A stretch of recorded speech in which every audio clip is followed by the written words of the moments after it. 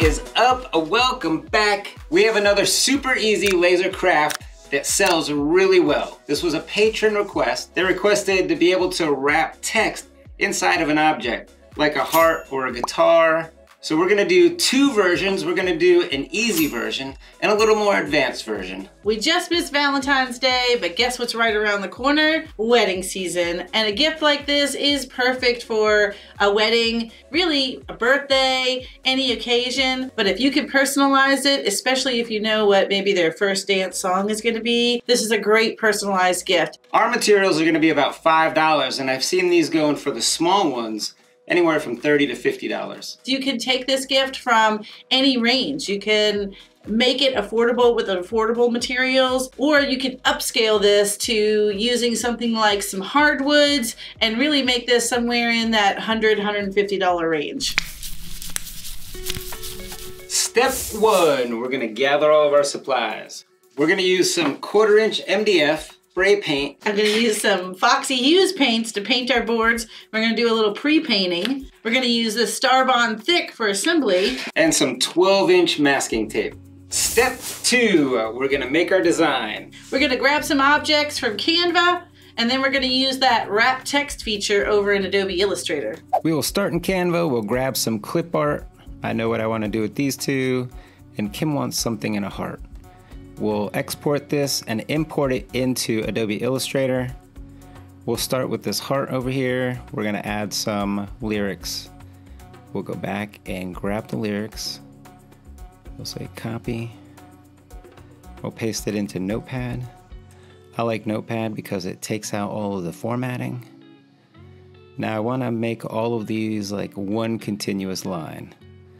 So I'm gonna grab right behind the B and try to grab this carriage return. Now I'm gonna go edit, replace. Now I see this blinking little thing here? It says I got my carriage return, so I do have it. I'm gonna replace that carriage return with dot dot dot space. Just feel like that feels songy, right? Replace. There, now all of my text is on one line. I'm gonna grab all of my text copy. Back into Illustrator. Here's my heart. How big do you want this thing? Oh, I don't know, I'd have to see. All right, well, let's start. I'm gonna go over to my type tool. 10 inches. Hold down the little triangle, select area type tool. Now I have a little circle next to my cursor. I'm gonna click on the path and it'll fill it with all that lorem ipsum stuff. I'm just gonna paste Control V. Go back to my select tool, and now I can start messing with the font and filling in this heart. So, oh yeah, you wanted what kind of font? Was it dancing? Dancing script. script. Mm -hmm. Yeah, now let's start playing with the font. Zoom in. Now I want this to be justified all lines. Really oh. fills it in. Yes. Yep, and now I can even go up here and select area type tools and actually adjust. I can make it multiple columns, oh, multiple rows. Yep. broken heart. Oh, multiple rows. That's good. When I was looking for these, they had different titles, like right in the middle. So oh yeah, that would be good. That'd be a good one. And then I mhm. can control the spacing or the span between them. Okay, I love it. We can do inset. We don't need an inset for this though.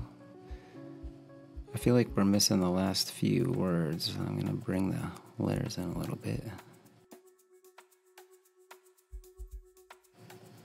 Uh, looks like we're still missing some some letters. See that OO? I think if we could stop at U or OO would be. Yeah, I was gonna say you can take out OO. Well, it leaves just an O. One O. O. Yeah, I'll just. It's good enough. I don't think anybody's gonna read all of the lyrics. Alright, let's give this thing a title. We'll go back to the type tool the regular type tool.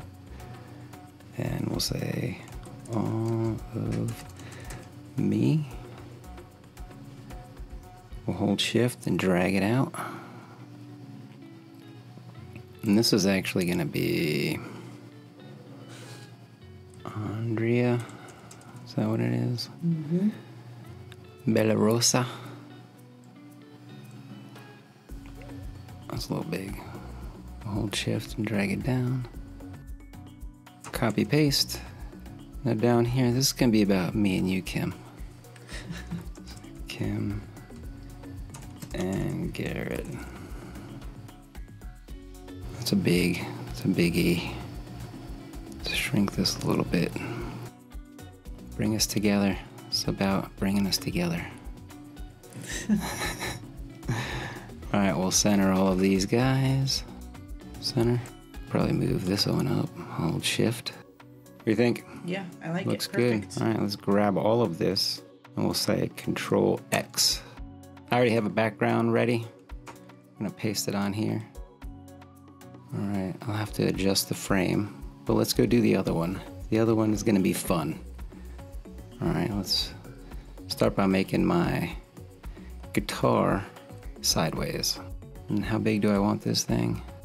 Right now, we'll just say like 17 inches wide.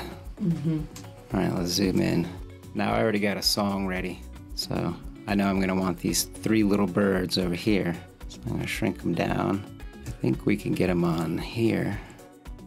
All right, they can sit up on these little keys, these little guitar things. I don't need this uh, branch that they're on, so I'm gonna go to my erase tool and we'll erase, erase this branch. Doesn't need to be perfect. They're about to be glued to the guitar. All right, let's bring these guys down. My little, my three little birds. Mm, so cute. All right, let me grab these guys. And this, we're gonna unite. Unite. All right. I'm gonna make a copy of this thing. What's on this layer? This is the only thing on this layer. I'm gonna duplicate layer one. I'm gonna hide layer one. Now I'm gonna mess with layer two, or copy of layer one. I'm gonna draw a square or a rectangle on layer one. Make sure layer one is selected. I'm gonna detach this handle because I wanna use this handle for something else. Let's turn this a different color so I can tell them apart. Drag in a color palette. We're gonna make it blue. All right, I'm gonna grab the guitar and this part. I'm gonna go over to my Pathfinder. If I have to, I go to my Pathfinder by window, Pathfinder, and then I'm gonna select divide. I'm gonna ungroup these and then I can remove this piece, this piece, and now my handle is separate. Control Z to put it back. All right, now it's time to add some lyrics to my guitar and then I'm gonna add the title inside the handle. But first, let me drag this handle in a little bit. To do that, I'm gonna take my pen tool. With this piece selected, I'm gonna hold control, grab this anchor point, start to drag it and hold shift. That'll keep it on its path. And I'm gonna do the same down here. So it's about even. There we go. All right, let's go get my lyrics. I already went and found them. Trying to make it easy. Over here, I'm gonna use the type tool. I'm gonna use the area type tool one more time. I'm gonna try to do it inside the guitar. I can't do it inside the guitar. This is a compound path, which means it's got shapes inside it. So I'm gonna need to release this thing, but I'm gonna get lost if I keep it black. So I'll make it green. And now I'm gonna go to release, which releases all the objects. So now this is solid, and I have the other objects that are inside still out here. We'll go Control Z, Control Z, Control Z. Back to my type tool. I'm gonna click on it. Now I can put my, my text in here. So let's paste my text in. That looks like a mess. I'm gonna bring it way down, and I'm gonna use a different font. This one looks fun. Just give me something to start with, because I still have, now it's gonna go through these pieces here, and if I hide these green pieces, it's gonna look weird. Right? Let me group them. That's my handle. Here's my green pieces. See, it's gonna right through everything. I don't want that. Let's make a copy of the handle. Control C, Control V to paste in place. I'm gonna grab that and my green pieces, and then I'm gonna select my text. I'm gonna go Object, Text Wrap, Make.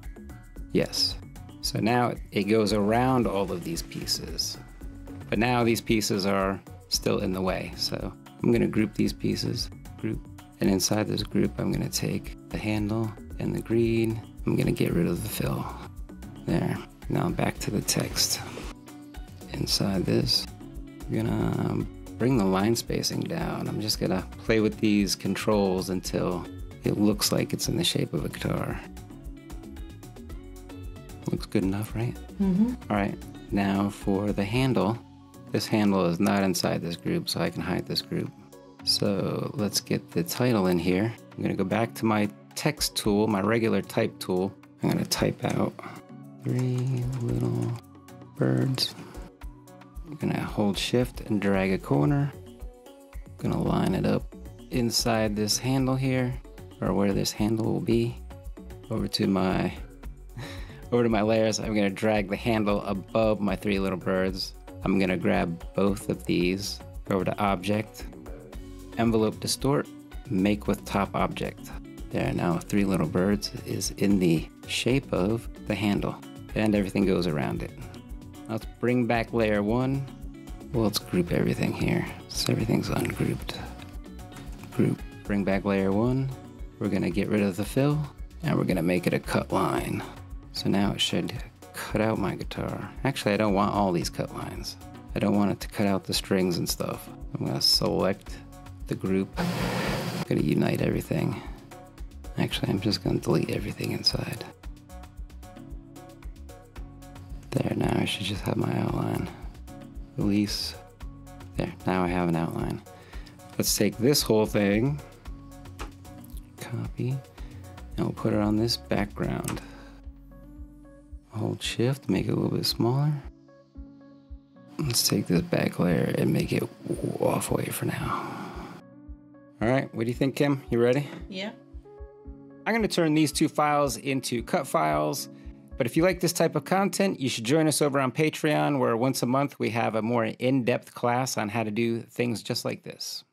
Step three we're going to make all of our cuts. But first, we're going to do some pre painting prep work. We're going to paint our boards, make sure it's really dry, then we're going to mask it off before we do any engraving. That way, we'll be able to have two colors.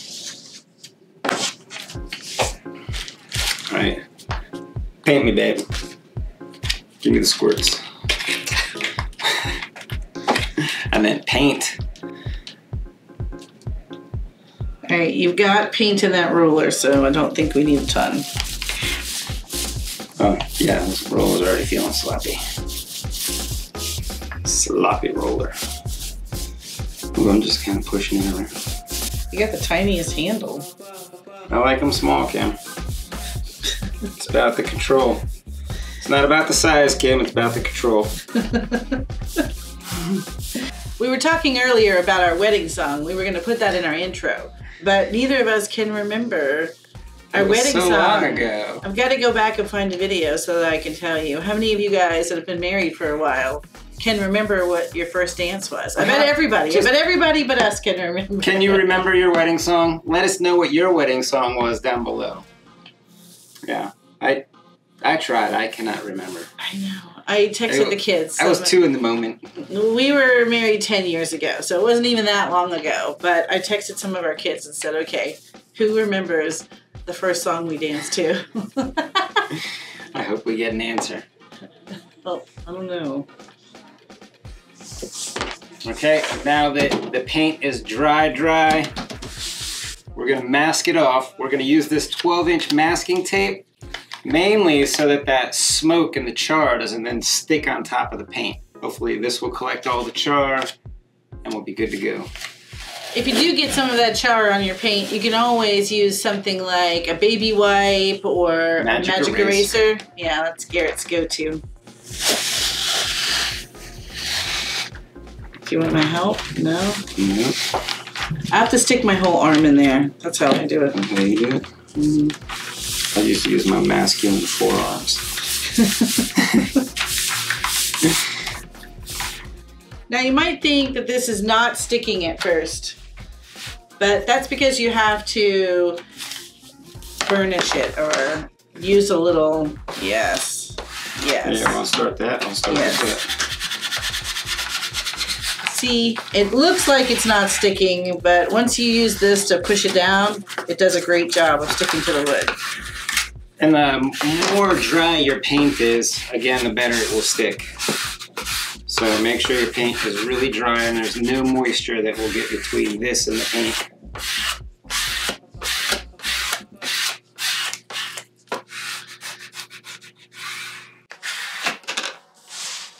Now that our boards are all masked off, we're gonna take these over to our Aeon Nova 14 laser and cut everything out. Let's import our artwork into Lightburn. We're gonna start with the heart. The red lines are for cut, the black lines are for engrave or fill, and with that, we're not going to use air assist. So we're gonna select our design and send it to the laser.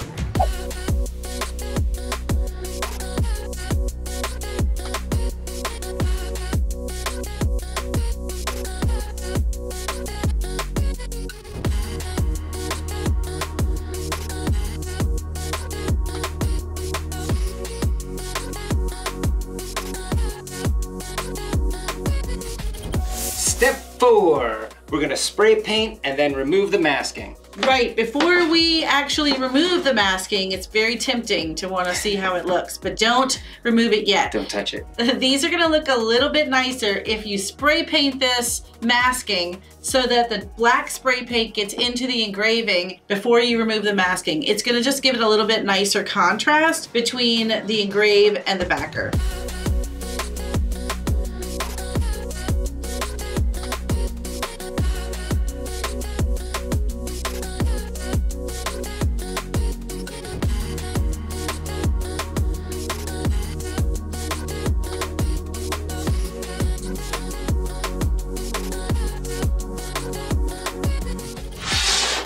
That everything is dry from the black spray paint, we're gonna remove all of the masking.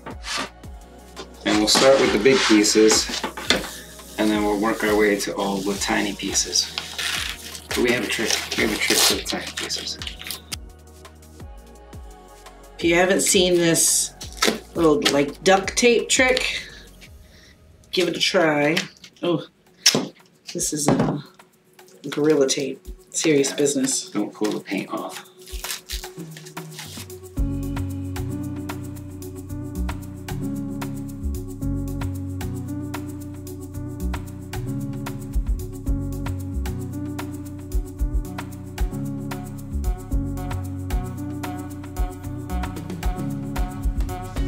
This is looking beautiful. I can't wait to show you a close-up of how detailed this is.